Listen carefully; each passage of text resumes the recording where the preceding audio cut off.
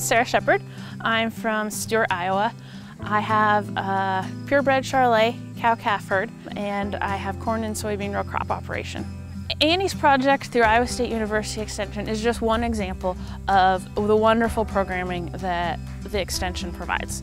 I think that the Extension is one of the most important tools that the rural communities, rural farmers, and um, women have um, right here in our communities. Uh, the programming that they provide is invaluable and there, there's, nothing, there's nothing comparable, there's nothing like it. It's put me in touch with a lot of great people and a lot of great resources. I knew that uh, just being in agriculture, it, you surround yourself by, by wonderful people. Um, and, and there are immense amount of resources out there to help farmers and to help young farmers. Getting connected with those is, is another thing. Annie's project what, what, through Iowa State University Extension was a great way to do that.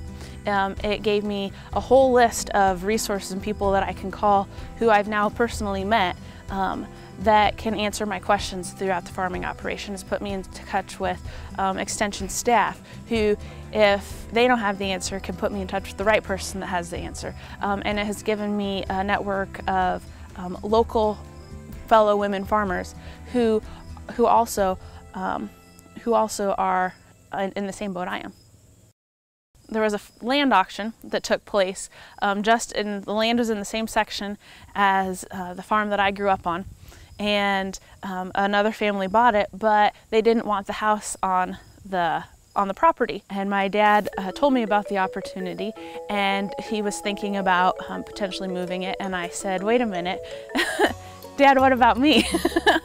I had been looking for um, a house or somewhere to locate and so um, almost two years later, a little over two years later now, um, I have moved a house a mile and have been working on the construction of a house and am thrilled to be back living in the community that I grew up, surrounded by extended family, surrounded by a close-knit um, community and friends and having that support as well as taking on a great adventure in the farming, my new business, and in my house project. Annie's project gave me the opportunity to have really good conversations with my dad about um, about more in-depth information about his farming operations while he was giving me farming lessons. It, it, gave me the opportunity at the right time as I was having those farming lessons with my father um, to be able to ask the questions. Um, it's, it's kind of you don't know what you don't know. He would tell me that oh, I've taught you everything, which I knew couldn't possibly be the truth. he, had been, in, he'd been um, farming for 30 years and his father before him. And so me um, le learning the operation in just uh, a few years, few months, um, Annie's project gave me the opportunity to, to learn a little, but then go back and say, now, Dad, how does this work in, in our family's operation? And how do you address this question? And, and how do you handle this? So it was a perfect opportunity. Um, unfortunately, my dad passed away earlier this year, and as he was declining, um, we had many conversations about um, me taking over the family farming operation, me continuing the cattle herd. It's, more, it's about more than passing the land on to the next generation. It's about passing that knowledge base and that wealth of information. That's the true legacy.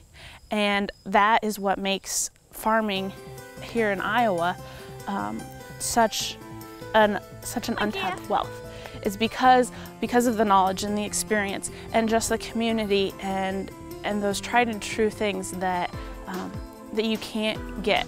It's not um, it's not about how many dollars per acre you're going to get if you're going to sell that piece of ground.